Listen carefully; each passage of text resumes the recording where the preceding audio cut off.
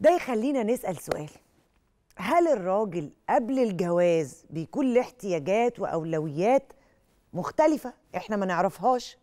طب هل الراجل ده نفس الراجل نفس الراجل اللي أنا هتجوزه ده في الخطوبة شيء واحتياجاته شيء بعد الجواز هل أولوياته بتتغير؟ هل بيكون شخصية تانية خالص لازم أفهمها وأستوعبها؟ يعني هل إحنا أنا اللي مش فاهمة الراجل احتياجاته إيه وعايز إيه؟ وإيه الحاجات اللي بتتغير فيه ولا هو اللي مش فاهمني ولا فاهم إن أنا قبل الجواز شيء وبعد الجواز ليا احتياجات تانية وأهداف تانية والشخصية البنوتة اللي قبل الجواز غير اللي بعد الجواز. في لخبطة كده يا جدعان في الاحتياجات والمفاهيم قبل وبعد قبل الارتباط وبعد الارتباط قبل الجواز وبعد الجواز. آه بنفضل يعني بنشوف رجالة حيرانة. والله الراجل عايز يتجوز. أنا بشوف شباب بيجوا لي بيحكوا لي مشاكلهم. يعني عايز يتجوز وحواليه كتير. عارفين فيلم بلبل حيران؟ والله. النجم أحمد حلمي. فاكرين الفيلم ده؟ كان عايز الحتة دي من ال... من الب... يعني البنت دي عاج- عاجبه فيها شخصيتها قوية. والبنت دي عاجبه فيها إن هي شيك وجسمها حلو.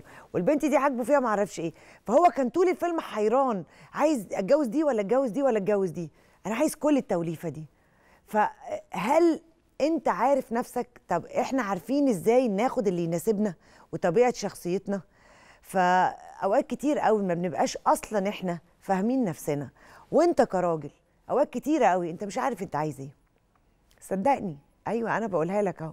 انت مش عارف انت عايز إيه. وعايز إيه من البنت اللي انت عايز ترتبط بيها؟ عايزها ست بيت؟ عايزها ست جميلة طول الوقت وجسمها يبقى طول الوقت بالمسطرة والمزوره عايزها ناجحة ولا عايزها بيتوتية؟ انت عايز إيه؟ ما كل حاجة ليها حاجة. كل حاجة ليها حاجة. أنا ليا احتياجات انت لو ما سددتهاش تبقى العلاقة فاشلة. طيب كل اللخبطة دي هنحاول هنحاول نوضحها ونفهم نفسنا. هيكون معايا ضيفي في الاستوديو الدكتور سامح نصر استشاري العلاقات الأسرية. نفهم منه أكتر.